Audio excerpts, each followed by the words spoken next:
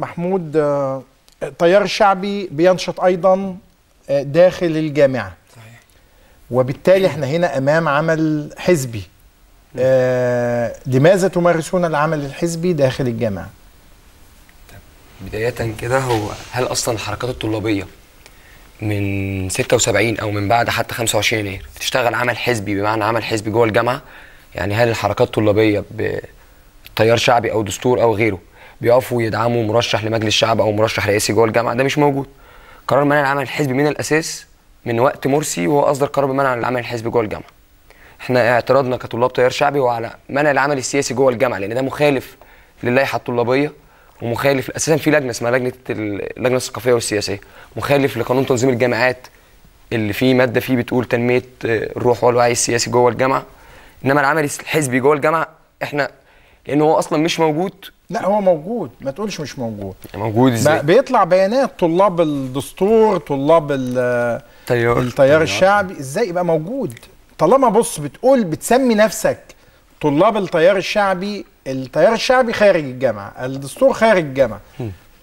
ولكن هنقعد بقى نت- نت- نتطاحن. هو يرفع شعار يسقط حكم العسكر المتمشي مع حزبه وحد تاني شايف شعار آه، يسقط حكم العسكر ده شعار فيه آه، آه، إهانة للجيش والقوات المسلحة يحصل تطاحن ونحول الجامعة إلى ساحة ما ده برضه للتطاحن. اللي أنا بقوله إن الحركات الطلابيه أصلا ما بتشتغلش عمل حزبي هي بتشتغل في قضايا عامة بتهم الطلبة. والأسر التابعة ليها اللي هي الذراع الخدمي للحركات الطلابية بتشتغل عمل خدمي وتنمية ثقافية واجتماعية وخدمية وللعمال وللطلبة. إنما الحركة الطلابية نفسها هي بتعمل في قضايا عامة. دعم الكتاب مش مش عمل حزبي. أزمة اللائحة الطلابية كل ده هنبقى معاك فيه مش هيبقى فيه مشكلة. هو ده اللي بالفعل الحركات الطلابية بتشتغل فيه جوه الجامعة. غير كده هو اللي بره الجامعة وفي الشارع مش مرتبط اللي بره اللي بره الشارع واللي بيحصل والقرار السياسي وغيره مش مرتبط باللي بيحصل في الجامعة؟ يعني الجامعة هي الأساس هي البنيان للموضوع ده. آه، في السبعينات والستينات معظم قادة الحركة الطلابية هم دلوقتي رموز اللي كانوا موجودين في السلطة أو في المعارضة. ليه؟ لأن الجامعة هي اللي كونت وعيهم وكونت روحهم وهي شغلهم في الجامعة هو اللي وصلهم لده. وبرضه من السبعينات لحد النهارده الحركة الطلابية بمختلف أحزابها ما اشتغلتش عمل سي... عمل حزبي بمعنى عمل حزبي. كلها قضايا عامة بتخدم الطلبة وبتخدم الجامعة وبتتكلم في قضايا رئيسية بنتكلم فيها. ده كان موجود في وقت مبارك وكان موجود وكانت الحركات الطلابية جزء أساسي من القوى اللي بتواجه نظام محمد مرسي وقدرت الحركات الطلابية اللي هي تسيطر على اتحاد طلاب مصر كسب اتحاد طلاب وكانت من أكبر المسيرات اللي كانت بتخرج آه، لمواجهه نظام مرسي كانت بتخرج من الجامعات.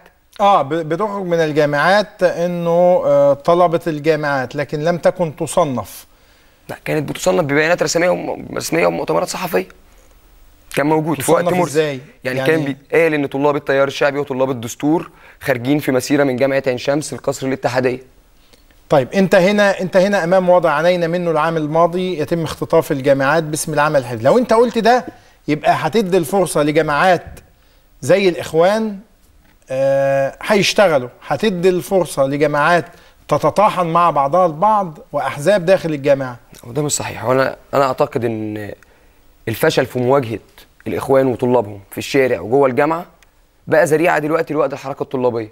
يعني إحنا كنا من طول السنة بنتكلم وطلاب الحركات الطلابية بيخرجوا بيعملوا وقفات وبيرفضوا العنف اللي بيحصل من الجامعات من الشرطة ومن الإخوان وبيرفضوا اللي بيحصل والضرب والقتل وال... آه. والاعتقال العشوائي وعنف طلاب الإخوان. كل ده كانت الحركات الطلابية بتخرج فيه وكنا بننزل بيانات رسمية ووقفات بنرفض فيها اللي بيحصل ده.